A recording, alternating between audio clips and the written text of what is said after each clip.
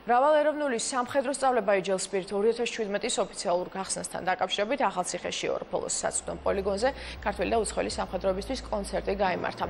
საერთაშორისო სამხედრო სწავლებაში ჩართული სამხედრო მოსამსახურების წინაშე ქართველი მომღერლები წარსდგნენ.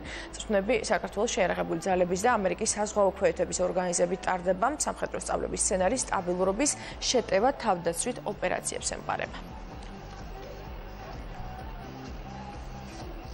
პირად შემადგენლობამ ძალიან ისიამოვნა ყველაფერი ისე იმრიდში წარიმართა როგორც